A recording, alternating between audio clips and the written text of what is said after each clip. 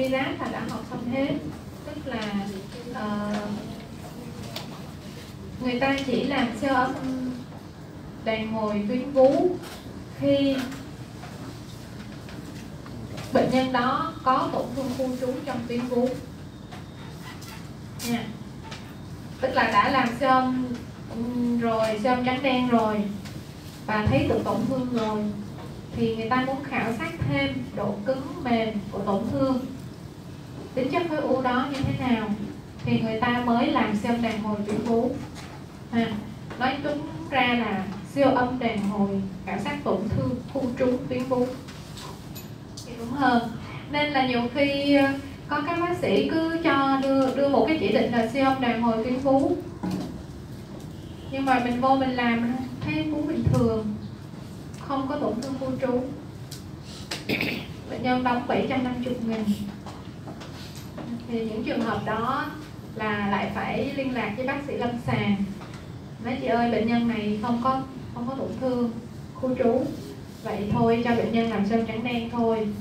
Rồi trả trả lại cái chỉ định này để cho người ta lấy tiền lại.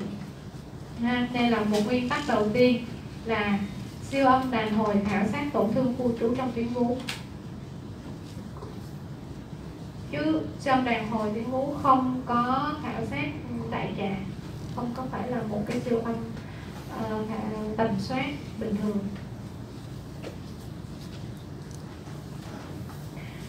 Uh, hầu hết các ung thư vú thì nó đều các tổn thương ung thư vú nó đều cứng hơn mô vú xung quanh. À, và quá trình làm cứng mô vú bắt đầu từ giai đoạn sớm của ung thư.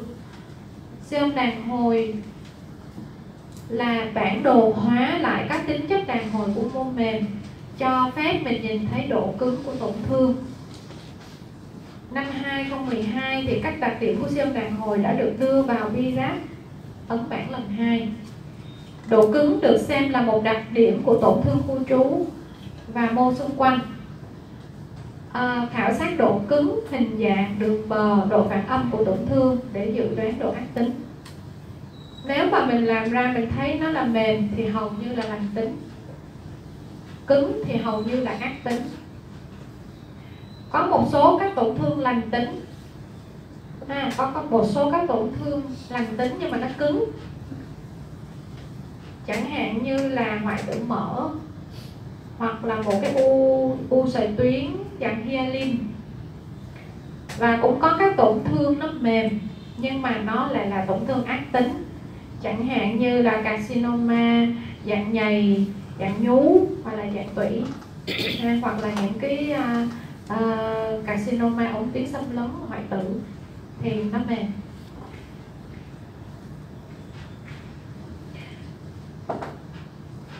Siêu âm đàn hồi mô vú có thể phân biệt được độ cứng độ mềm của mô ngay khi nó có biểu hiện đồng nhất. Có nghĩa là uh, nó đồng nhất với lại mô vú xung quanh. Thì mình vẫn có thể phân biệt ở cái vùng này nó cứng hơn so với mô vú xung quanh hay mềm hơn. Nó thực hiện nhanh đơn giản và tăng độ nhạy và giá trị tiên đoán dương trong chẩn đoán các tổn thương khu trú BIRAT 3, 4 để sao? Để mà mình tránh biopsy hoặc là FNA không cần thiết hoặc là tái khám vô ích. Đối với những tổn thương virus 3 mình nghi ngờ là 4A đi mình nghi ngờ là dạ, virus 4 đi. Nhưng mà nếu mà mình làm, sau khi mình làm đàn hồi, mình thấy nó mềm và các chỉ số, cái giá trị của nó dưới giá trị cut off, thì mình có thể đưa nó xuống xuống số 3 virus 3 thì như vậy mình chỉ là theo dõi thôi, theo dõi định kỳ 6 tháng thôi. Rồi. Ứng dụng hai, cái cái siêu âm đàn hồi mô vú này nó sẽ ứng dụng hai kỹ thuật đàn hồi chính. Đó là siêu âm đàn hồi nén ha và siêu âm đàn hồi sóng biến dạng. Thì siêu âm đàn hồi nén à, thì như hồi nãy chị đã nói rồi tức là mình sẽ dùng đầu dò và ép tác động một cái lực ép từ bên ngoài tạo các sức căng khác nhau trong các thành phần của mô vú ha. Và mình sẽ dùng siêu âm sóng biến dạng với hình ảnh xung lực bức xạ âm. Hình ảnh xung lực bức xạ âm có nghĩa là ảnh phi đó. Cái đó là của hãng Siemens à, và dùng cái cái sóng biến dạng là shear wave để, của các hãng khác nó áp dụng cái sóng này. Thì tại sao nói nói rõ là như vậy là vì là có hai trường phái lớn đó, của cái xem âm đàn hồi hạt phi cũng nghiên cứu rất là nhiều cho nên là đưa vô. À, cái này là của của của Siemens. Rồi uh, siêu âm đàn hồi mô vú mục đích của nó là gì? Là nó cung cấp thêm thông tin cho siêu âm B1 và siêu âm màu nhằm hỗ trợ tầm soát sang thương vú. À, đối với các cái tổn thương BRAF 2 là rõ ràng là lành tính được đúng không ạ? À? Là hai là rõ ràng lành tính nè. Hoặc là 4C 4C với 5 là rõ ràng là ác tính rồi. Mình nhìn cái đó là mình ra chỉ định là FNA hoặc là COP-FC luôn. Chứ mình áp dụng đàn hồi nữa, chi? Đúng không? Thì nó ít có vai trò đối với đối với những tổn thương này. Nó nó sẽ giúp hạ cấp BRAF từ 4A cho tới 3 đối với các sang thương nghi ngờ nhưng mà nó lại mềm trên siêu đàn hồi thì mình có thể hạ cấp xuống từ 4A xuống 3 hoặc là tăng cấp từ 3 lên 4 đối với những cái tổn thương mà nó có hình thái lành tính, nhìn nhiều khi một tổn thương vẫn là phản âm kém bờ đều trục ngang không có xáo trộn mô vú xung quanh. Nhưng mà mình làm xem đàn hồi nó lại là cứng. Thì lúc đó mình phải nâng lên 4 thôi. Và 4 thì mình phải là làm tiếp FNA hoặc là COP-FC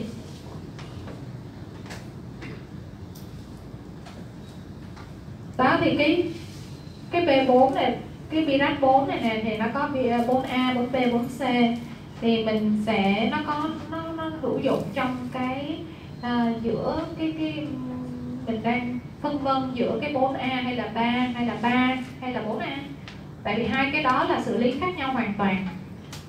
Đó.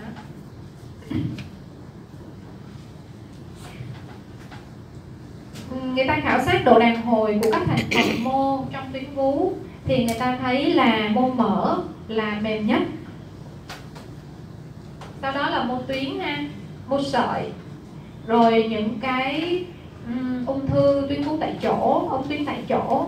Rồi cứng nhất là ung thư ung tuyến xâm lấn.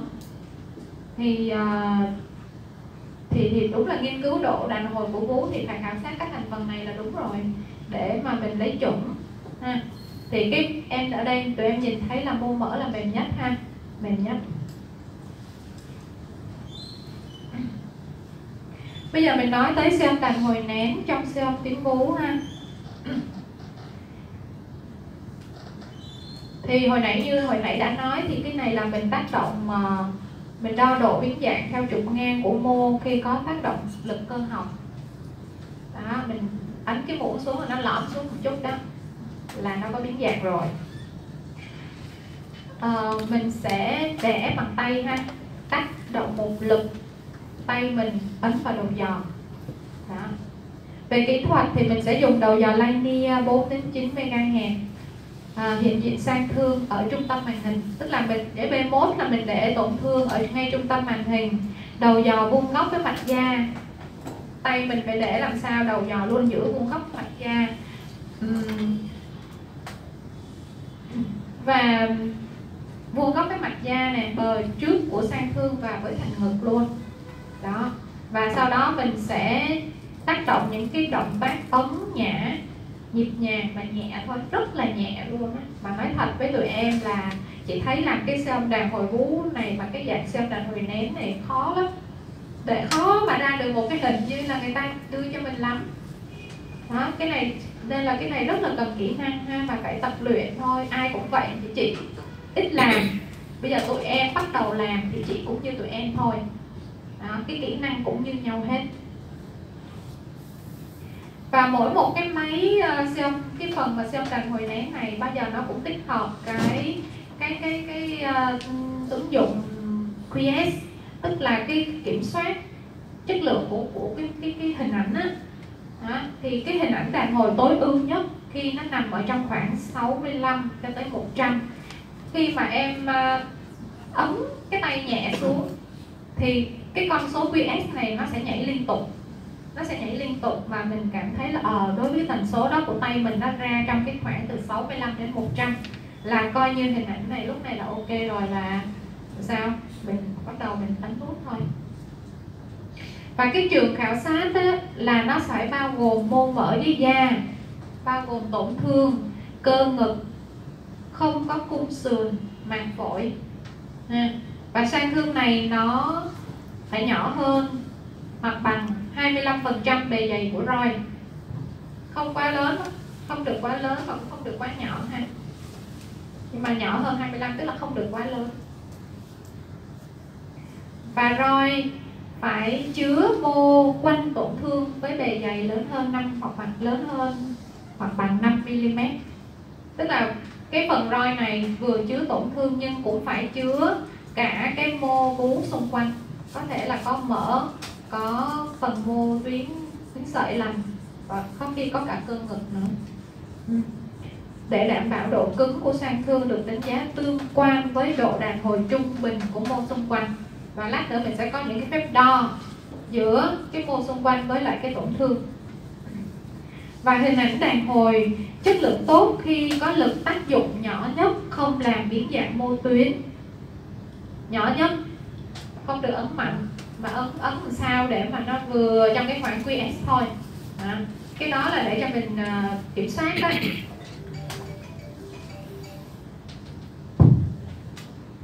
Nếu mà lực nén đủ thì cơ ngực có màu xanh dương mô mỡ dưới da có màu khảm xanh lá cây đỏ thì khi nào các em làm á tụi em làm mà tụi em quan sát nhớ cái này chứ cái này cũng không bắt tụi em phải nhớ đâu biên độ tối ưu của động tác nhấn nhả thì phải thấp nhất 0,5 đến 1 mm hoặc là 1 đến 2 mm tùy theo thể tích của vú. Kích thước tổn thương và mô xung quanh. Đó cái biên độ em nhấn xuống nhả lên nhấn nhả vậy đó. Là trong vòng 1 đến 2 mm tần số nén 1 đến 2 lần một giây và mỗi sang thương khảo sát hơn 5 giây. Khó ha? Chị còn thấy chị thấy khó lắm nhưng mà đó là nguyên tắc chung.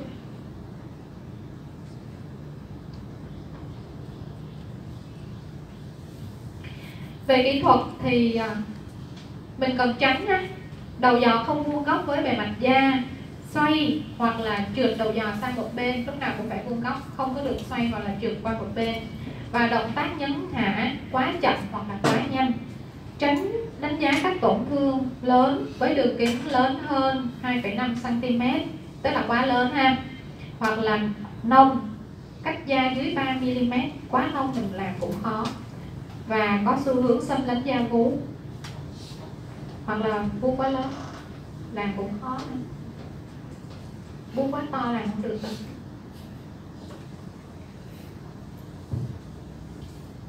rồi để có một hình đàn hồi mô đẹp thì phải có một hình B mốt đẹp là đúng rồi ha. Giữ đầu giò vuông góc với mặt da tìm tư thế cho phép ổn định rung động ấn đầu giò cử động của bệnh nhân ít nhất. Cho bệnh nhân nằm tư thế nào mà người ta đừng có mỏi. Và cái cái uh, cái tổn thương của mình nó, nó đâu phải lúc nào nó cũng nằm 12 giờ. Cách núm vú 1 2 cm đâu. Nhiều khi nó nằm ở 9 giờ hoặc là 10 giờ hoặc là 8 giờ lệch qua một bên đó, thì lúc đó tụi em phải cho bệnh nhân nằm nghiêng qua đó, để bệnh nhân nằm với tư thế thoải mái nhất, để và không mỏi, thì người ta mới không cựa quậy. Thì tụi em mới đo được và lúc nào cái đầu dò tụi em cũng phải vuông góc chứ không để xéo xéo vậy được.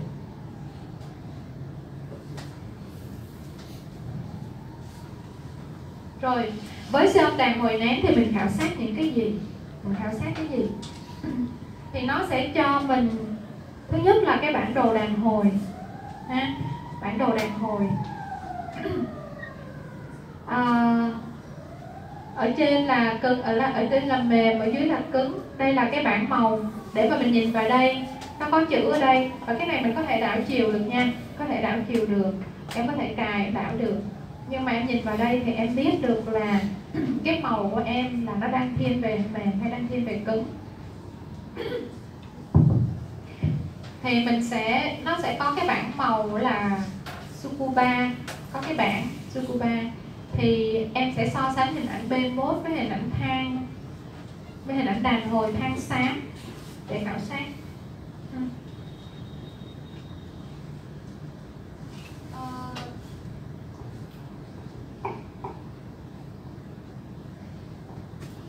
Là tụi em sẽ tính cái tỷ cái cái tỷ số giữa cái uh, tỷ số về về uh, chiều dài đó về có thể là chiều dài nè hoặc là cái chu vi luôn về cái uh, đàn hồi và B1 nếu mà đây nè mình sẽ đo trên cái B1 chiều dài nó là bao nhiêu và trên cái hình ảnh đàn hồi bề dài nó là bao nhiêu hoặc là mình sẽ đo chu vi chu vi của chu vi của tổn thương bên này nó nhỏ hơn, đo ra là bao nhiêu? Có khi bên này lớn hơn hay nhỏ hơn thì mình sẽ so sánh cái đó. Và thứ ba là mình sẽ khảo sát độ cứng của tổn thương. Và khảo sát độ cứng của tổn thương thì mình sẽ ra, mình sẽ đo cái, mình tìm cái tỷ số giữa mô mỡ ha, mô mỡ mô mỡ trước tuyến vú nè. Gần nhất ha, trên cùng, trong cùng một khung này khung màu nè, với cái tổn thương này đây là cái uh, tỷ số đàn hồi. Tỷ số đàn hồi này rất quan trọng ha. Là mình khảo sát ba cái. Như vậy đối với đàn hồi nén là mình sẽ khảo sát thứ nhất là bản đồ đàn hồi thứ hai là tỷ số về ờ, độ dài kích thước và chu vi thứ ba là tỷ, tỷ số nén. Về bản đồ đàn hồi á thì mục đích của nó là biểu hiện độ cứng của mô khảo sát và hiển thị bằng thang màu và có thể thay đổi chiều hiển thị tổn thương cứng sẽ có độ nén kém hơn mô vú xung quanh. À, và nó được biểu hiện qua cái um, cái bảng uh, uh, Sukuba ha. Và và ngoài ra cái độ đàn bản bản đồ đàn hồi này nó có thể hiển thị bằng than xám hiển thị bằng hình ảnh than xám. Thường là trong máy xi men đây là cái bảng à, Sukuba. Thì nó sẽ chia ra làm 5 5 điểm ha. 5 điểm 5 loại ha. Từ 1 cho tới 5 và ở dưới này là cái tổn thương dạng nang rồi nang rồi. Thì mình lát nữa mình sẽ nói sau. Có thì thiên càng thiên về từ độ cái cái ờ, phân độ nhỏ score nó nhỏ. 1, 2, 3 thì thiên về lành tính còn 4, năm thì thiên về an tính. Thì uh, với cái bảng màu như thế này thì với cái độ 1 á, độ 1 có nghĩa rằng là cái mô cái tổn thương đang khảo sát này có độ mềm giống như là mô xung quanh ha, giống như là mô xung quanh đều là màu xanh hết giống mô mỡ giống mô xung quanh. Thì cái này là phân độ 1 toàn bộ vùng này á, là nó mềm. Ha. ở đây là màu đỏ là màu đỏ là mềm nè. Sau đó là đến màu màu xanh lá cây. Còn cái xanh dương á, là cứng. Thì mình sẽ so sánh với lại cái mô xung quanh. Rồi độ 2 á, là nó có một vài cái đốm cứng ở trong trong cái tổn thương này. Một phần thôi nó cứng thôi. Độ 3 là nó thành phần cứng nhiều hơn nhưng mà nó vẫn nằm trong cái tổn thương này, nó không có vượt ra ngoài. Còn vùng ngoại biên của nó vẫn mềm. Và độ 4 toàn bộ cái tổn thương này nó cứng. Độ 5 cứng lan ra tới ngoài luôn. Tức là những cái mô xung quanh nằm kế cận tổn thương cũng bị cứng luôn rồi. Đó. Rồi ha vậy là tụi em hình dung ra rồi ha. Thì phân độ 1, 2 là lành. 3 là trung gian nè. Nhưng mà nó vẫn còn trong tổn thương. Cái độ cứng này nó vẫn trong tổn thương. Chưa có vượt ra ngoài khỏi vỏ bao. Số 4 này là hết rồi. Bản này là nó bóc làm cứng cái mô xung quanh rồi. Và cái tổn thương cuối cùng là tổn thương dạng nang. Dạng nang này á, thì nó sẽ có cái hình ảnh là green. Blue, green, red, tức là nó sẽ phân lớp do cái độ lắng động của những cái chất cặn trong nang, mà nó sẽ có những hình ảnh như thế này. Đó. Đây là hình ảnh đặc trưng luôn ha.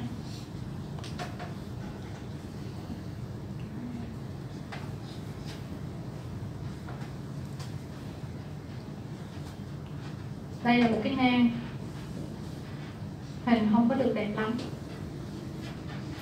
Đó, trên trên P1 là mình nghĩ nó nó đầy đủ uh, nó không có được ờ, trống lắm.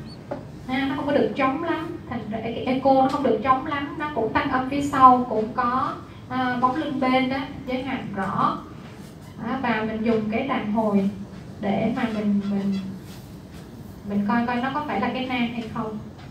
Thì nó đặc trưng của một cái cái cái uh, blue green red này.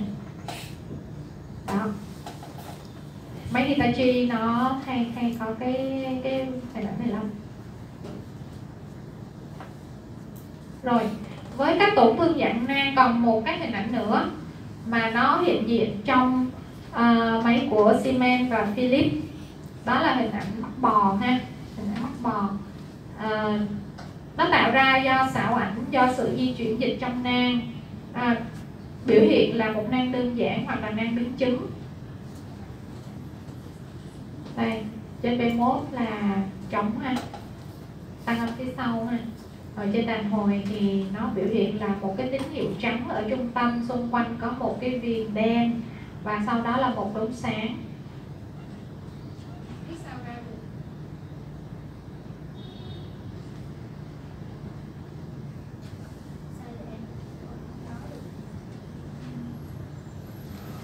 Speed.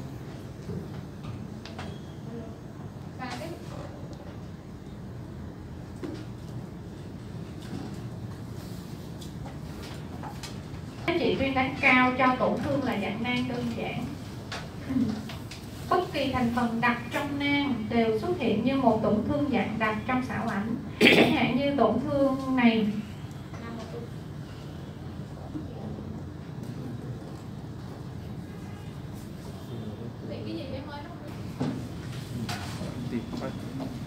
hồi nãy mình vừa nói uh, uh, biểu hiện của dạng nang uh, dạng nang mà dưới dạng là mắt bò ha thì tính thì mình sẽ có được là tín hiệu trắng ở trung tâm.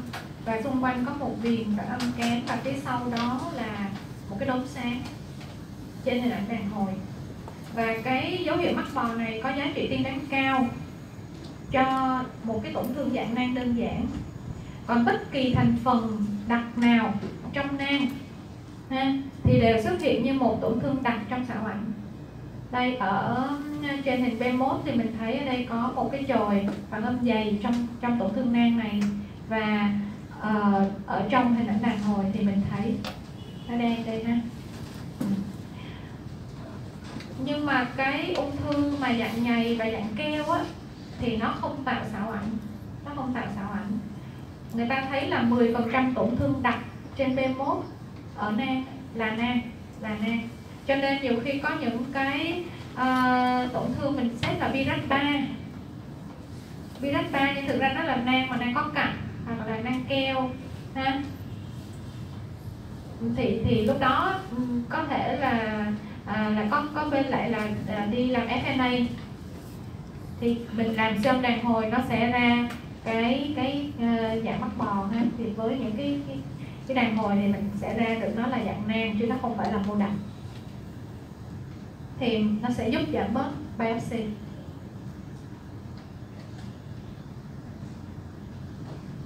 Đây như cái tổn thương này thì thành phần đặt trong nang khoảng 2 mm á. Nó là một cái u nhú lành tính.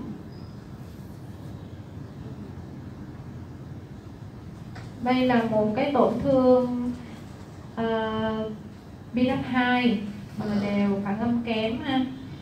Và khi với với hình ảnh đàn hồi thì à, mình thấy là màu xanh màu xanh, ha, nó phủ đều so với lại cái, tức là cái cái cái màu của nó là giống như là mô mô vú xung quanh và xếp loại là score 1 thì à, giải phẫu bệnh ra là fibroadenoma, ha.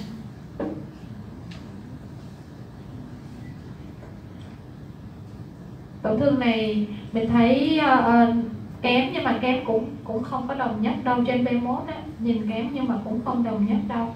Và à, với cái hình ảnh đàn hồi thì mình thấy ở trong đó nó có những cái đốm màu xanh dương. Những cái đốm màu xanh dương.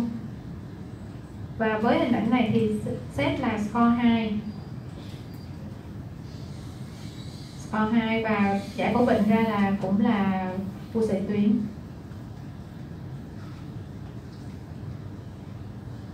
Hình thứ ba này thì hình này nhìn trên B1 các anh chị thấy ngại không? Đáng ngại không? Đáng ngại ha? Là tại sao? Nó cũng là kém nhưng mà cái trục dọc của nó rất là rõ. Cái trục dọc của nó rất là rõ. Thành ra cái bờ thì thì tạm cho là đều đi nhưng mà nó là trục dọc. Và trong cái tổn thương của tuyến vú cũng như là tuyến giáp một tổn thương mà các anh chị nhìn nó có hướng trục dọc là các anh chị phải đề phòng nha. Đừng có mà nương nhẹ với nó. Còn cái bờ nhiều khi mình mình nói bờ không đều nhưng mà mình cũng nên hướng về là uh, không đều dạng đa cung. Đa cung lớn hay là cung đều đa cung nhỏ hay là đa cung đó vừa lớn vừa nhỏ. Cái đó rất là quan trọng. Và nó có nó có gặp góc hay không để nó tạo những cái tua hay không thì nên nên để ý những chuyện đó. Nhưng một tổn thương mà mình thấy nó có trục dọc phương nhọc là mình phải cẩn thận. Thà mình mình đánh dư một chút xíu nhưng mà còn hơn là mình bỏ sót, ha. Thì tổn thương này ở đây làm đàn hồi.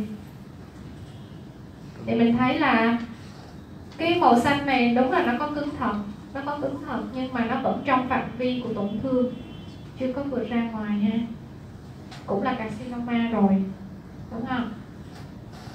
Tại chỗ ha.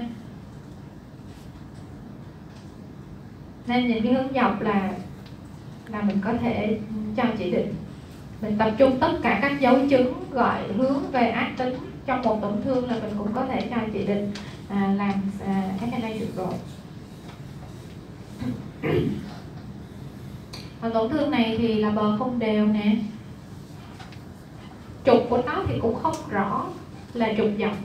Nhưng mà bờ nó cũng không phải là bờ, không không có bờ đều. Và trong đây nó có vi vôi không đều nữa. Có những nốt vôi hóa kích thước không đều.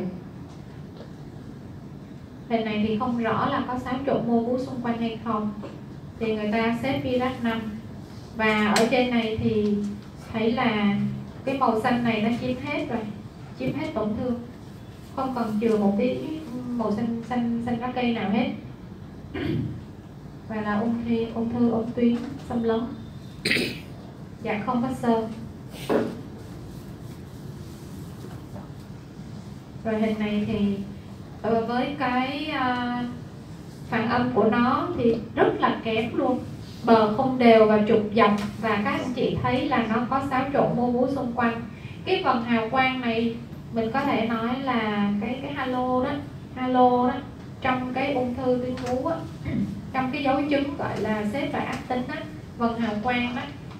Đó trục dọc quá dọc luôn và bờ là không đều rồi. Thì ờ, với hình ảnh đàn hồi mình thấy là tổn thương chiếm hết màu xanh chiếm hết luôn chiếm hết tổn thương và nó bắt đầu là có màu xanh xanh dương lan ra phía mô xung quanh trong cái vần hào quang này. À, thì Ờ, và hình này là score 5 và cái này là casino. Ông tuyến bố xâm lấn mà cái dạng có sơ luôn. Rất là cứng luôn.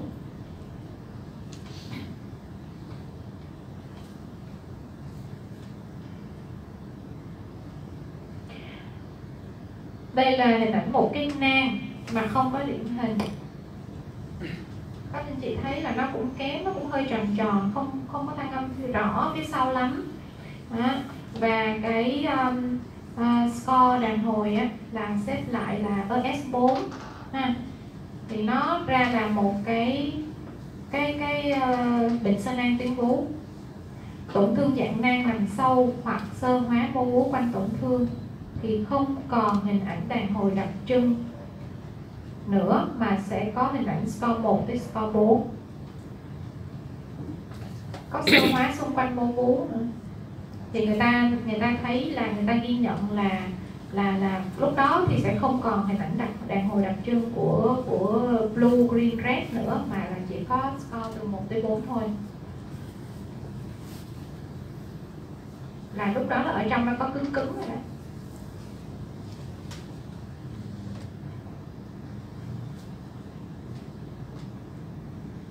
Sơ nang tuyến vú cũng như là thay đổi sợi bọc tuyến vú thì thường có độ đàn hồi giống mô vú xung quanh. Đây, cái tổn thương này. Thì nó có, thường là có độ đàn hồi giống mô vú xung quanh. Nếu tổn thương này nó cứng ha, thì các anh chị thấy nó sẽ không có màu này đâu, mà nó sẽ là một cục luôn, là màu xanh dương. Nên đối với những tổn thương này, các anh chị nhìn trên B1 thấy ghê không? Ghê bờ không có đều đâu. Nó không thành ra một cái nó không thành ra một dải tức là nó có bề dày nè nó có bề dày nè. Nếu mà mình đo ngang và dọc ngang và sâu á, thì nó có thể bằng nhau. Nhưng mình nhìn cái tổn thương này thì mình thấy nó cái cái cái ờ, cái độ độ độ trục dọc của nó là có đó. Thì bởi vậy mới làm đàn hồi. Thì làm đàn hồi ra thấy nó nó nó giống mềm giống như mô xung quanh. Thì mình có thể yên tâm ha. Thì ra nó là một cái sơ nang tuyến vú.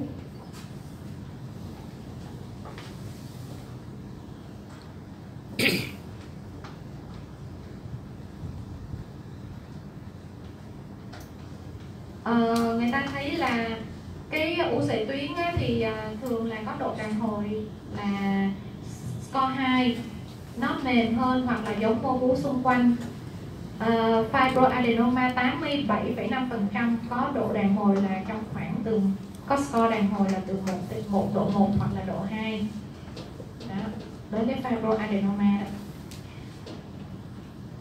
còn một cái fibroadenoma mà có vôi hóa thì độ đàn hồi nó nó có vôi hóa bên trong mà cho nên là độ đàn hồi của nó sẽ là sẽ lên là score 4 87,5% là có score 1 đến 2 nhưng mà khi mà cứng hơn có khi nó cứng hơn do nó có vôi bên trong. Bằng chứng là cái tổn thương này trên B1 là các anh chị thấy nó giảm âm phía sau rất là nhiều, chứng tỏ ở trong nó có vôi đó. Nên là một tổn thương này mặc dù là mình thấy trục ngang bờ đa cung lớn, nhưng mà mình nhìn cũng ghê, đúng không?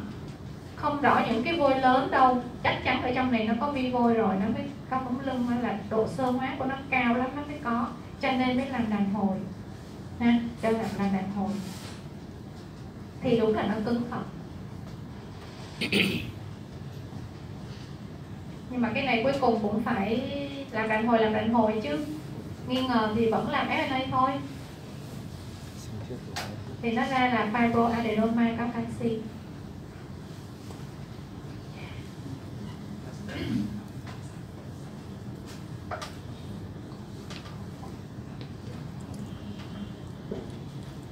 Một cái uh, ES 5 tức lạnh cứng và lan hơn ramo xung quanh ha. Và cái hình ảnh này trên B1 cũng cũng cũng nghi ngờ ha. Thì carcinom tuyến vú 79 phần trăm là có độ đàn hồi là có ES á, là 4 độ 4 hoặc là độ 5 đặc biệt là nếu tổn thương có kích thước nhỏ hơn 1,5 cm có hình ảnh đàn hồi lớn hơn hình ảnh siêu âm thường quy do thấy được mô xâm lấn xung quanh. Cho đó người ta thấy là siêu âm đàn hồi rất hữu ích trong chẩn đoán tổn thương carcinoma không điển hình trên siêu âm thường quy như là các tổn thương rất nhỏ không tạo khối rõ echo dày hoặc giảm âm phía sau. Đó, cái tổn thương này không tạo khối rõ nha. Nhưng mà nó có giảm âm phía sau không tạo khối rõ. Nhưng mà khi mình làm đàn hồi thì mình thấy nó cứng và nó vượt ra khỏi cái chu vi của tức là mình đo mình thấy nó lớn hơn cái hình B1 tức là nó đã xâm lấn ra bên ngoài.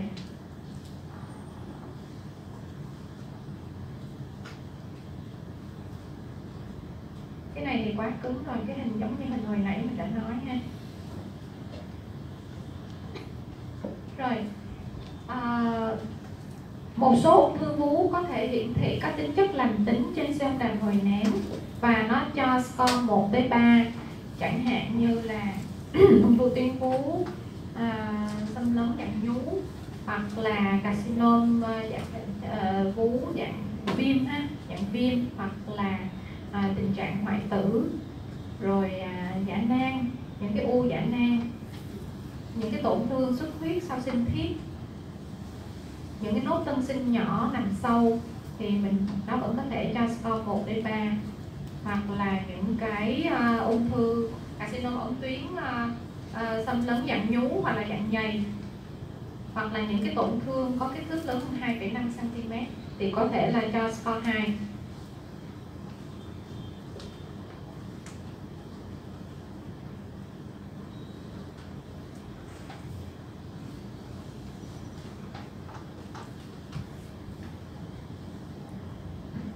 ca này thì trên mammography thì có các cái nốt vôi nghi ngờ.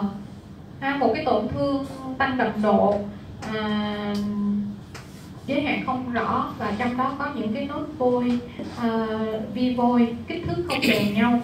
Ha, nhiều tuổi ha. Và nó có những cái dãy sơ xung quanh nữa. À, thì xếp Pirac 4 à, thì à, trên cái à, siêu âm đàn hồi thì vùng mô biến cứng không phát hiện cái vùng mô tuyến cứng này mình không phát hiện trên siêu âm B1 ha. do đó siêu âm đàn hồi cải thiện đáng kể độ chính xác của siêu âm B1 phát hiện và phân biệt tổn thương vú có vi vôi nghi ngờ trên chủ ảnh. Đó. Mình thấy là mình thấy cái vùng này thôi, nó mềm nhưng mà cái vùng này mình không thấy. Trên B1 không hiển thị nha. Này mình thấy, thì nó lại là cứng.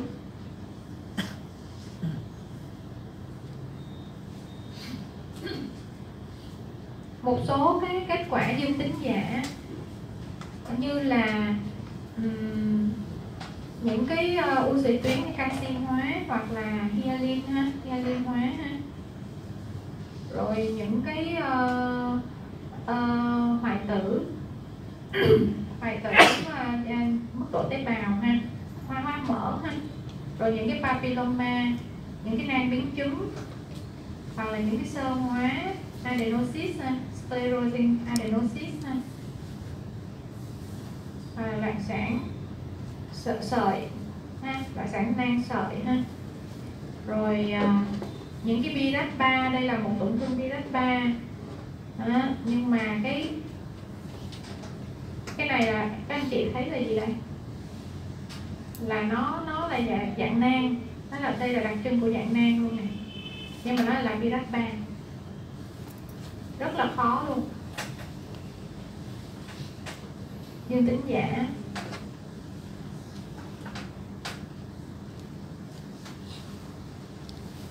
Nhìn này thấy nó xanh nó cứng không? Nhưng mà không phải.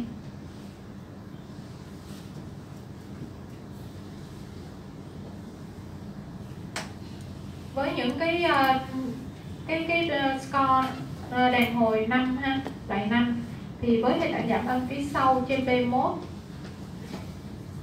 thì là mình, thì trên trên hình ảnh đàn hồi nó lại là, nó lại cho mình cứng. Đó là những cái vi bôi lành hoặc là các tổn thương sơ hóa mô sẹo xung quanh tổn thương. Đây này có những cái sẹo, có những cái sẹo mà bị bôi hóa đó, thì nó trên đàn hồi nó cũng cho ra cái hình ảnh cứng. Là score 5 cho nên là nhiều khi trên B1 mình không thấy tổn thương, nhưng mà nhờ có đàn hồi những cái những cái bản màu của đàn hồi thì mình lại phát hiện ra cái vùng cứng trên, quanh cái vùng tổn thương đó.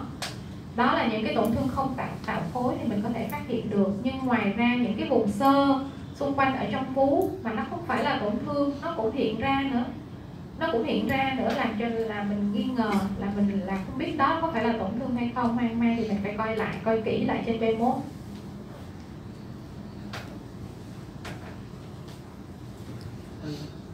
một cái hạch nách lành tính. Thì trên bản đồ màu nó rất là mềm ha. Nó biểu hiện là mềm như so với mô xung quanh ha. Còn đây là một cái hạch nách di căn này các anh thấy, chị thấy nó cứng nó cứng rõ luôn.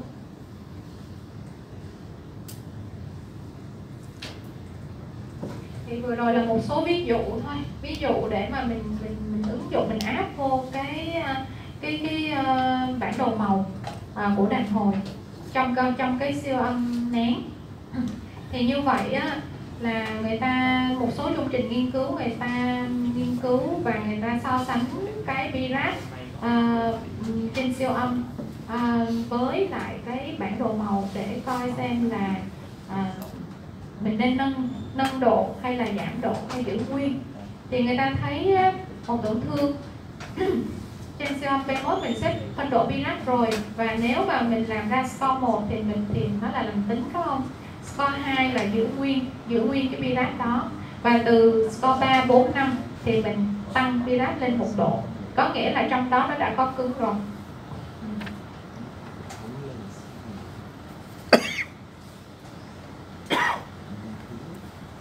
Hình ảnh siêu đàn hồi à, của các bệnh lý tuyến vú thường gặp chẳng hạn như bướu sợi tuyến thì nó mềm và có độ đàn hồi giống như là mô vú lân cận thì thường là score 1 hoặc là 2 còn nang điển hình thì mình sẽ có cái hình ảnh uh, dấu, dấu mắt bò ha và có cái hình ảnh uh, blue green red này hoặc là score 1 score 1 nó, nó mềm hoàn toàn tại vì trong đó nhiều khi nó là cặn là dầu thôi thì nó vẫn là score 1 à, thay đổi sợi bọc có độ đàn hồi giống như là mô tuyến sợi xung quanh thì nó vẫn có thể ra là con một hoặc là hai còn ung thư vú thì cái tổn thương nó sẽ cứng hơn mô vú xung quanh thì nó sẽ có thể là 3 score 3 4 hoặc là 5 đó. siêu âm đàn hồi nén không có chỉ định để đánh giá các thay đổi sau mổ à, hoặc là đánh giá các cái tổn thương lan tỏa hoặc là có kích thước lớn, quá chiều dài đầu dò hoặc là chiều khảo sát. Mình chỉ làm trong tổn thương khu trú thôi. Và cái tổn thương đó mình đã xếp virus mình đã là một một xác định nó là là là khu trú rồi. Mà nghi ngờ thì mình phải thêm xem là nó cứng như thế nào để mà mình khẳng định thêm chẩn đoán thôi. Chứ không phải dùng nó để mà đưa ra mọi mọi quyết định đâu nha siêu âm đàn hồi nén ít bị hạn chế. Tức là bị hạn chế khi mà mình khảo sát với mô vú đặc ít mỡ. Tức là lớp mỡ trước và sau tuyến vú mỏng hoặc là không có luôn á. Và là mô tuyến sợi thôi. Thứ hai là nhu mô vú bị sơ hóa. Thứ ba là có hematom và có túi ngực ấn ấn khó lắm em. Ấn được không? Siêu âm tràng hồi nén cho độ tin cậy cao. Khi khảo sát có tổn thương có kích thước là nhỏ hơn 2 cm còn lớn hơn thì không có làm được đâu. Cái khung cái khung roi của nó không thể lớn hơn. Cái đó và tụi em phải uh, trong một cái trường trong một cái roi thì tụi em phải có là uh, mô mỡ uh, trước hoặc là sau tuyến vú rồi mô mô tuyến vú xung quanh. Đó hay là có khi có cả cơ cơ ngực nữa đó. cho nên là nếu mà có một cái tổn thương lớn hơn 2 cm thì làm sao trong lo các em có đủ những cái đó được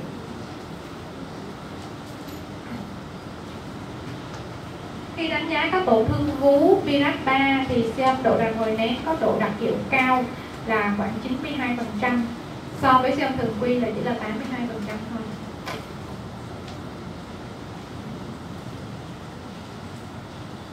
đó, đó là phần bản đồ màu nha khi làm xong đàn hồi nén thì mình sẽ à, khảo sát thứ nhất là bản đồ màu. Mình sẽ phân cái cái uh, score điểm thang điểm nó ra từ uh, từ 1 đến 5 ha. Và cái thứ hai là mình sẽ khảo sát tới tỷ số nén tỷ số nén. Thì tỷ số nén á, là mình sẽ so cái khảo sát giữa tỷ số đàn hồi của mô mỡ và sang thương. Mô mỡ đối với sang thương đó là tỷ số tỷ số của mô mỡ với sang thương thì đây là dữ liệu bán định lượng bán định lượng của siêu âm đàn hồi nén. Mô mỡ thì có độ nén tốt hơn mô bệnh lý vì mô mỡ nó mềm nó nén thì nó sẽ rõ hơn và nó sẽ cái cái cái cái, cái uh, chỉ số nó sẽ cao hơn. Còn tổn thương nó có cứng thì cái độ đàn hồi của nó sẽ giảm đi do đó mô mỡ có độ nén tốt hơn, nhiều hơn mô bệnh lý. Và đánh giá tổn thương khảo sát cứng hơn mô mỡ lân cận bao nhiêu lần. Đó, cái tỷ số nén nó cho phép mình đánh giá tổn thương này. Nó cứng hơn mô mỡ bao nhiêu lần. Và hình ảnh B1 phải có tổn thương và mô mỡ lân cận. Trong cái hình ảnh này, mình khảo sát, mình phải có cái tổn thương và mô mỡ lân cận trong cùng một khung hình và roi đặt tại tổn thương á, là A và mô mỡ là B ở cùng một độ sâu. Có nghĩa là ở đây em đo tổn thương của em ở đây gì? Thì em phải thả, thả roi cái mô mỡ mà cùng độ sâu cho em không thể roi phía trên này hay là phía sau này nó có môn mở em roi dưới này được mà phải là cùng một độ sâu so với bề mặt da. À. và sau đó em tạo cái tỷ lệ B trên A tức là của môn mở trên tổn thương. Tỷ số nén khoảng 4 tức là khách off giá trị khách off của tổn thương lành tính và ác tính. Nếu mà em đo cái tỷ số nén này à, tức là số nén của mô mỡ bây giờ nó cũng nén nhiều hơn là của tổn thương gì? Mà nếu mà nó gấp 4 lần hơn hoặc bằng 4 lần so với tổn thương thì như vậy là là sao? Ác tính. Ha? Ác tính. Còn thấp hơn đó thì là lành tính. Hướng về lành tính thì cái cut off này của nó là như vậy.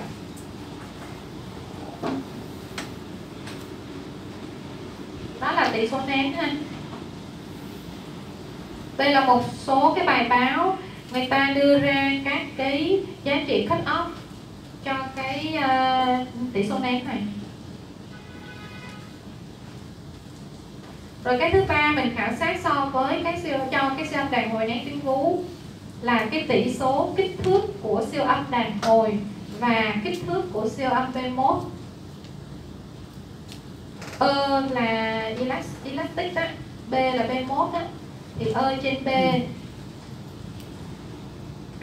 Nếu ơ trên B á, mà dưới 1 thì gợi ý làm tính có nghĩa là cái hình, hình ảnh đàn hồi nó nhỏ hơn là B1 ha, thì gợi ý lành tính. Tức là nó chưa xâm lấn xung quanh đấy. Còn nếu mà hình ảnh đàn hồi mà lớn hơn hình ảnh B1 thì là gợi ý ác tính. Đây, cái này là hình ảnh B1 ha. Em đo cái đường kính ngang đi đường kính ngang. Và đây là hình ảnh đàn hồi nè, nó ra hình ảnh này nè. Em đo đường kính này. Em đo cái đường, cái chiều chiều chiều quay độ lớn nhất đường kính lớn nhất mà em có thể đo được với tổn thương này thì là nó lớn hơn một rồi. Ha, lớn hơn một. Tức là cái thằng đàn hồi này nó bự hơn cái thằng B1 có nghĩa là nó đã xâm lấn xâm lấn ra xung quanh rồi. Độ cứng là đã xâm lấn ra xung quanh rồi. Thì như vậy là gợi ý ác tính. Thì người ta theo ba đó là ông ông giáo sư chuyên về về siêu âm đàn hồi đó. Thì ông thấy là độ độ chuyên biệt và độ đặc hiệu của nó là 99 100 phần trăm rất là cao ha. Và như vậy cái tỷ lệ à, à, ơi trên B này nó có ý nghĩa quan trọng cho việc phân độ của ung thư ống tuyến xâm lấn. Này nghe nghe thì tức là độ tin cậy nó cao đó độ tin cậy nó rất là cao. Thì đúng rồi em thấy không? Trên hình ảnh B1 mà nó nhỏ vậy mà ra ngoài nó lớn như vậy thì nó nó đã mình mình hiểu là nó đã xâm lấn xung quanh rồi. Và với cái hình ảnh B1 này mình đã xếp cho nó là ít nhất là cũng 4 nó không đều rồi nó có uh, xáo trộn mô tuyến xung quanh nè.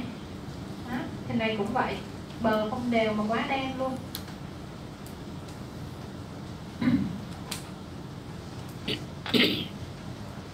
Cái trên một và cái dưới một ha đây là đường kính. Này cũng vậy.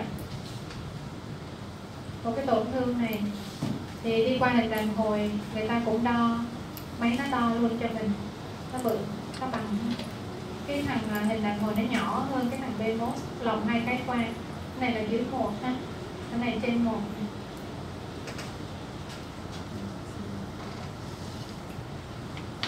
Rồi hay là cái cái ca này người ta đưa cho mình hình là trên vụ ảnh nè. Vụ ảnh là tổn thương tăng đập độ nè. Rồi nó có tia, nó có gai nè, bờ không đều nè. Đó. Tua gai quá chừng luôn. Rồi trên hình ảnh siêu âm B1 cái này mình có thể nói được luôn ha. Đây là cái halo có luôn nè. Trục dọc, bờ không đều. Quá kém và trong đó có những cái nốt vi vôi không đều nhau và trên bản đồ màu. Trên bản đồ màu thì các em thấy là nó xanh xanh dương rất là nhiều. Và nó còn lớn hơn cái hình B, B1 nữa. Ở đây là các giá trị nó đo được này. Đây là một cái xa casino ở phía xanh đó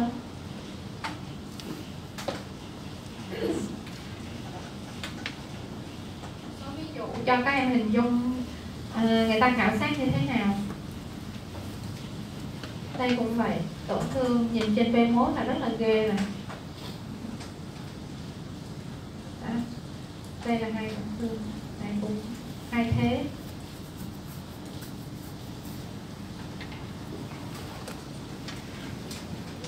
và nó có cả hạch nách nữa hạch nách cũng cứng nữa và người ta cũng đo ra so với mô xung quanh này hạch nách này với lại cái mô mỡ có nghĩa là phải đo cao lên cùng cùng một độ sâu và tới 15 lần đó, cái này tới 15 lần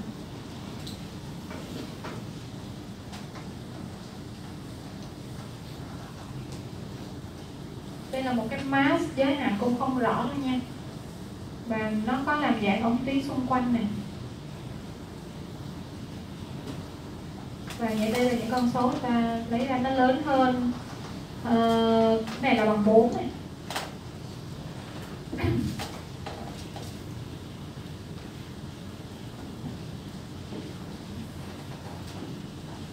Nhìn đẹp ha cái này hào quang chị rất thích nhìn cái cái cái uh, siêu âm mà tụi em muốn thấy được cái vòng hào quang này trên B1 là tụi em nhớ chỉnh cái contrast nha. Chỉnh contrast cho nó siết cái siết lại một chút thì cái hào quang này nó lộ lộ ra rất là rõ đó. mình làm mình phải nên mình thấy một tổn thương mình nên chỉnh máy để nó cho những cái hình ảnh đẹp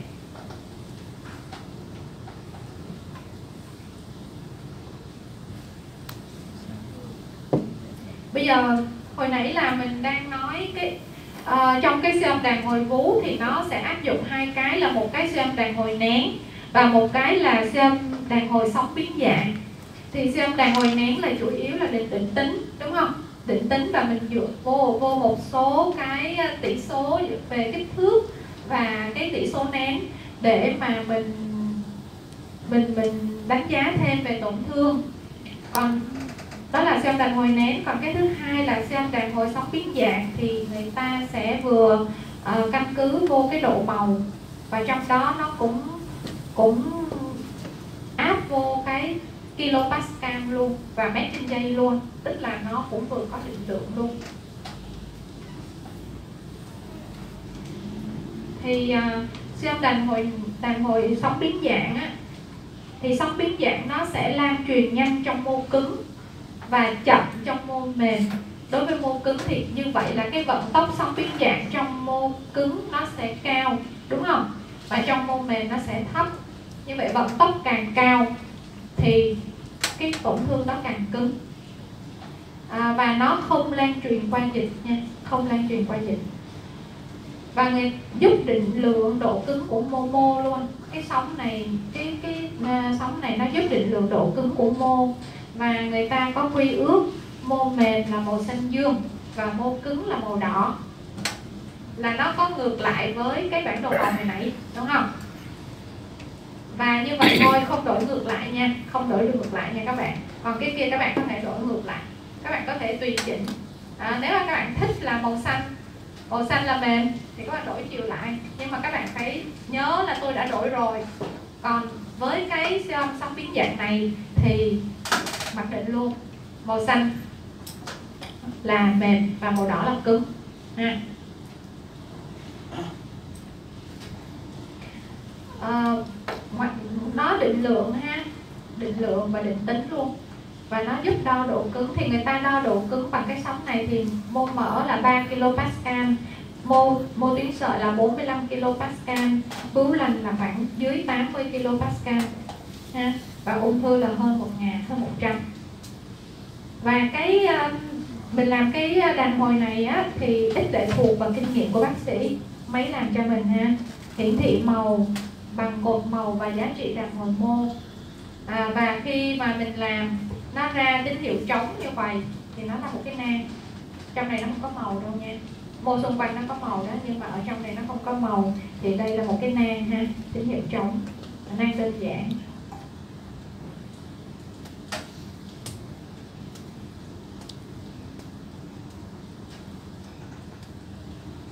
Đây. Với tổn thương trên B1 này bờ đa cung trục ngang ha.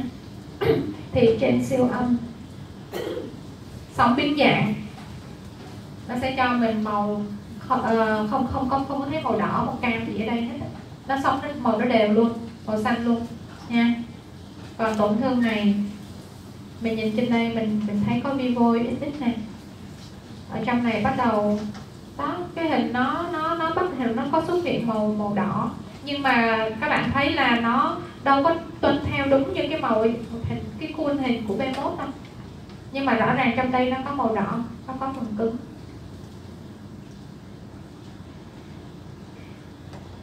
Khi mà tất cả những cái siêu âm đàn hồi mà nó có hiển thị màu á nó cũng phụ thuộc vào cái tay mình nha còn nếu mà các bạn mà đo đo vận tốc á, á thì máy nó sẽ làm cho mình và phụ thuộc vô bệnh nhân. Nhớ điều đó.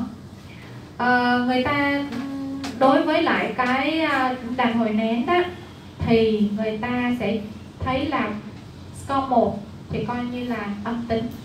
Tức là đây là những cái dấu chứng cộng vào à, dương và dương và âm để mà thêm vào để mà mình nâng độ hay là mình giảm độ một cái birat đây là cái sơ đồ này để là kết hợp giữa cái birat trên siêu âm B1 và kết hợp với siêu âm đàn hồi mô với là cái siêu âm đàn hồi nén và siêu âm đàn hồi sóng biến dạng. Thì um, với score 1 đối với siêu âm đàn hồi nén nha score 1 thì là âm tính. Score 4 năm là dương tính. Ha là dương. Rồi đối với siêu âm đàn hồi nén thì màu xanh xanh xanh xanh đậm xanh đậm xanh dương đậm hoặc là là âm ha còn màu đỏ là dương đó còn ở giữa thì trung tính thôi không tính. Thì người ta áp dụng vô cái việc mà nâng độ hay giảm độ cho cái Virat 4A, 4B hoặc là Virat 3 ha. Thì người ta thấy đối với Virat 4A mà nếu có những cái dấu chứng dương tính là score 4 năm hoặc là màu đỏ này nè thì nó sẽ nâng lên 4B nha. Tức là ơ cộng.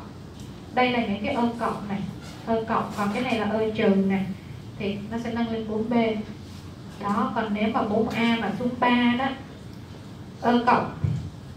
Này, đổi ngược lại này 4A mà ơ trừ á, thì sẽ là xuống 3 mà từ 3 mà lên 4A thì phải là ơ cộng. Ha. cái này dấu này chị làm sai này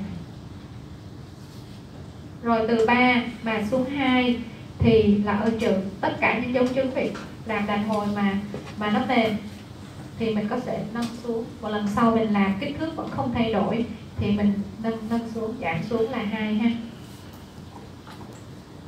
Đó là đó là cách lý luận thôi. Cái mô mô, cái sơ đồ này giúp cho mình lý luận ra cái kết quả sau khi mình đã làm xem đàn hồi.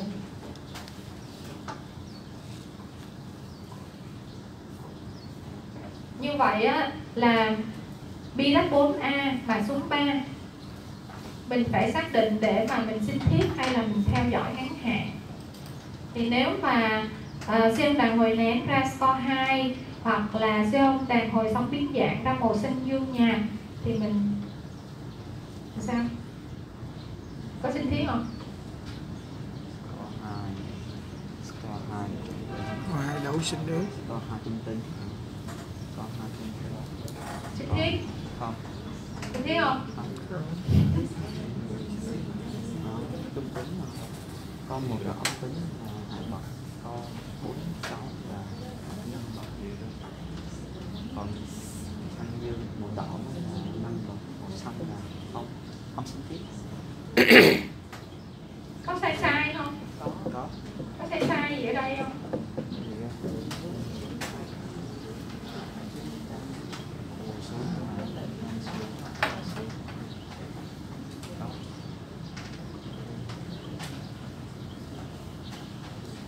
xanh dương đậm xanh dương đậm là chỉ là dưới 30 kPa thôi là theo dõi ha nhưng mà score 2 á, là nó nó nó có cái phần cứng rồi và cái kPa của nó dưới 80 nó cũng có cứng rồi thì cũng cũng nên là sinh thiết nha trên thực tế 20% bệnh nhân có tổn thương vú Pilat 3 mà không thay trong 2 năm thì mình có thể đưa xuống Pilat 2 tức là sau 2 năm nó không thay đổi thì mình có thể đưa xuống Pilat 2 do đó là siêu âm đàn hồi giúp xác định theo dõi theo dõi ngắn hạn 6 tháng hay định kỳ. Một cái score một hoặc là xanh dương đậm dưới 20 kPa thì mình có thể từ 3 mình đưa xuống 2 được. Uh, BDAT 3 theo dõi ngắn hạn hay sinh thiết vì có thể bỏ sót các ung thư biệt phát cao mà có giới hạn rõ cho hình ảnh lành tính trên B1 nên là khi mình làm đàn hồi SE là score 4 năm hoặc là à, đàn hồi sóng biến dạng màu đỏ lớn hơn 160 kPa thì mình phải xin thiết à, ờ, mình vừa mới nói qua về à, siêu âm đàn hồi sóng biến dạng bây giờ mình sẽ nói về hình ảnh xung lực bức xạ âm ạc phi các bạn nào nghe ạc phi không? Khảo sát sao tính năng ạc phi á. Thì, thì nó, nó nói chung là nó cũng chỉ là một dạng. Khi mà người ta đưa ra những cái sóng để mà người ta tạo cái cái cái uh, đàn hồi thôi hình ảnh đàn hồi thôi chứ uh, cũng không phải là cái gì gọi là khó khăn. Đó thì uh, với cái ạc phi cũng là tia siêu âm bắn vào cái cái mô cần khảo sát. Và từ sau khi mà đụng đụng vào tổn thương thì cái tia đó nó sẽ biến dạng và nó sẽ chuyển thành những cái sóng biến dạng ngang, ha? Bệnh ngang ngang và người ta sẽ đo đo đo cái cái cái sóng này, đo vận tốc sóng này để đưa ra cái độ cứng của mô cái này nó là dạng xung, coi như là xung lực bức xạ âm không phải là một cái sóng sóng siêu âm nó là xung dạng xung đó thì đối với cái ạc phi này người ta sẽ đưa ra uh, những cái uh, cái cái hình ảnh uh, hình ảnh để mà người ta khảo sát. Là có hai dạng. Thứ nhất là siêu âm tạo hình mô bằng kỹ thuật chạm ảo. Đó cái tên của nó là như vậy VTI thì siêu âm tạo hình mô bằng kỹ thuật chạm ảo. Thì nó cũng đưa ra một cái bản đồ than xám à, định tính định tính nha phản ánh độ cứng của vùng mô khảo sát, sang thương càng cứng thì độ sáng càng đen, tức là đen hơn mô xung quanh. Độ sáng càng cao thì là nó sẽ đen hơn mô xung quanh. Đó đó là cái cái định tính. Còn thứ hai là nó sẽ cũng đưa ra định lượng. Định lượng là siêu âm định lượng mô bằng kỹ thuật chạm ảo chạm ảo thôi. Thì nó cũng đo vận tốc sóng biến dạng qua vùng khảo sát và vận tốc sóng biến dạng càng cao thì mô càng cứng. Giống như hồi nãy mình làm gan đó đó các anh chị cứ cứ hình dung hồi nãy mình mình bắn mình khảo sát uh, đo độ đàn hồi gan đó cũng có một cái roi. Tia nó bắn vô đó thì nó sẽ ra nó sẽ đo cái độ uh, độ vận tốc của sóng uh, sóng sóng đàn hồi sóng biến dạng đó thì thì cũng như vậy thôi. Thì cái này nó cũng dùng để mà đo tổn thương trong vú thì nó chỉ có đo được trong giới hạn là từ 0 đến 9 mét trên giây thôi. Còn nếu mà vượt quá 9 mét trên giây thì máy nó sẽ là vượt ngưỡng ha. Nó sẽ hiện cho mình cái dấu x này nhưng mà từ 23 là đã thấy cao rồi, mình sẽ so sánh với cái môn xung quanh.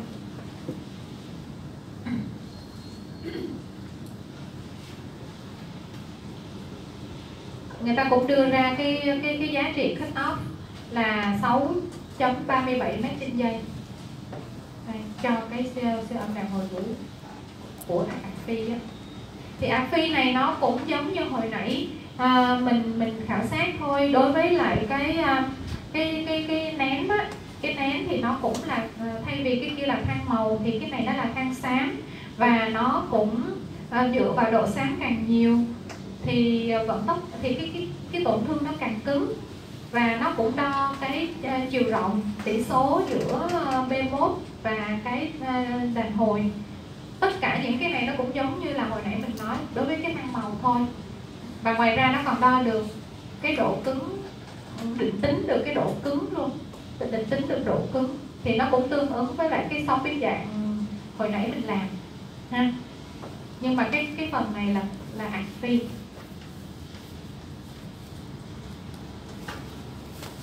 các chị thì theo kịp không?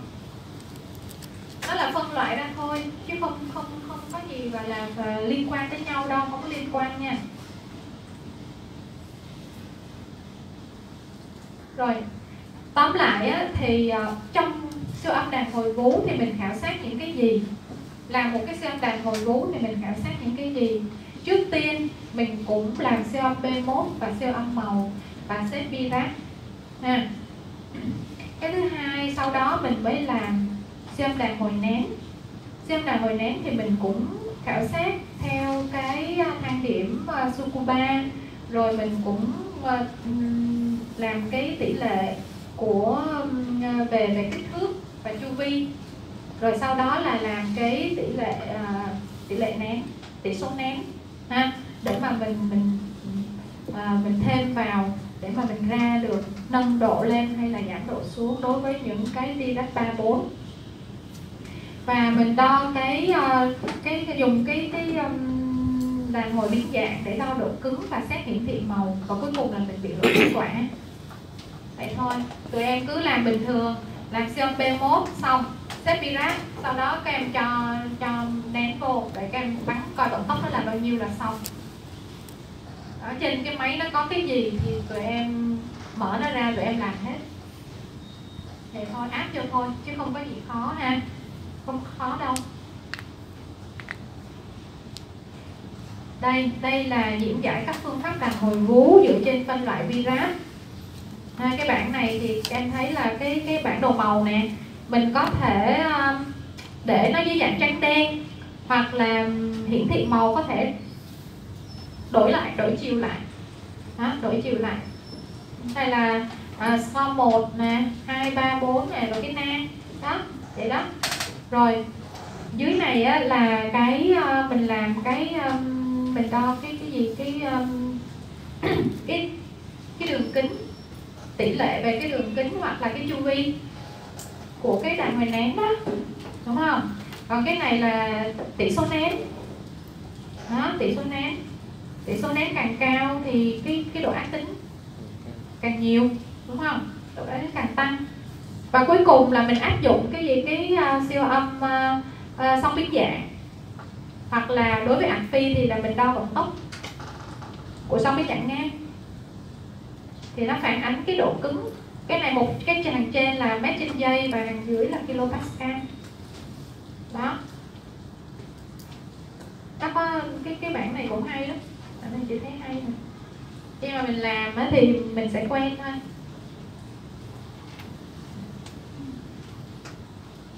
À, chất lượng hình ảnh đàn hồi à, đây với hình A ha cái hàng A này nè.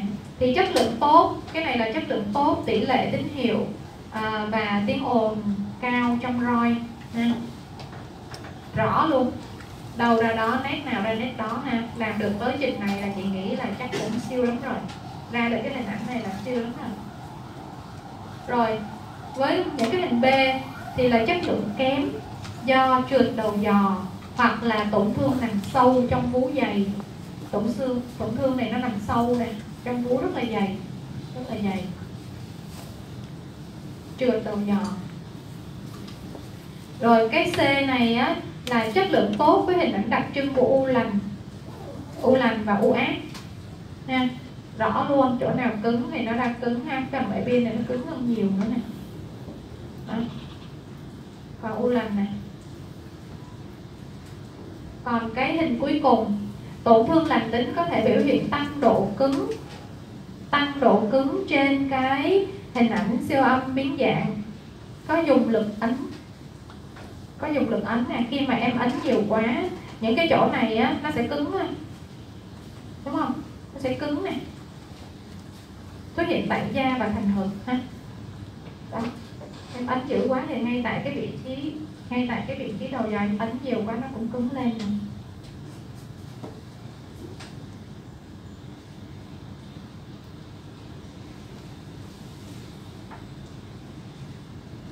siêu vú có thực hiện khi không có xương âm P1 không?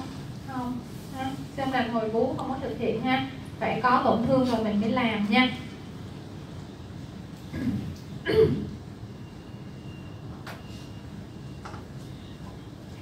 À, mình chỉ thực hiện uh, siêu âm đàn hồi nén. Một trong hai cái thôi siêu âm đàn hồi nén hoặc là siêu âm đàn hồi sóng biến dạng. Mình nên phối hợp nha mình nên phối hợp lại. À, xem đàn hồi có để đao grab B4A, B4C, B5 thành B2, B3 không? Không ha. Thường là người ta sẽ sẽ ờ, lung tung giữa B B B3 và B4A đó. Thường hai cái đó. B3 hoặc là B4A Vậy hai cái đó rất là quan trọng. Khi nào thực hiện siêu âm đàn hồi nén và siêu âm ngồi xong biến dạng. Khi mình đã thấy trên B1 rồi, mình làm tiếp. Câu hỏi rất là bình thường ha, rất là dễ, không có gì hết. Không khả thi khi nào tổn thương nông cách da dưới 3 mm hoặc là tổn thương lớn hơn roi. Giới hạn của siêu đàn hồi vú. Đôi khi một tổn thương vú ác tính có thể biểu hiện mềm trên uh, sóng biến dạng. Thì mình phải quan sát mô xung quanh tổn thương để xác định phần cứng nhất của tổn thương. Mình phải tìm cái phần cứng nhất của tổn thương ha, coi nó nó nó như thế nào. Và ngay khi à, ngay cả khi cái chuyện mà mà mà mình làm FNA á các anh chị cũng nên nên, nên lấy cái mẫu ở trong cái vùng mà mình cảm thấy là nó cứng nhất.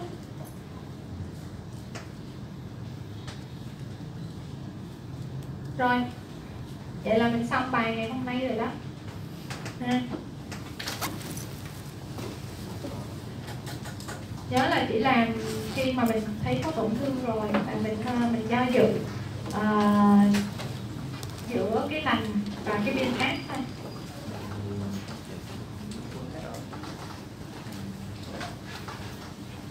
đây đây là Dr. H3 ông này là nổi tiếng về cái mảng đàn hồi. Rồi bài học là xong rồi đó. Có bạn nào hỏi gì không?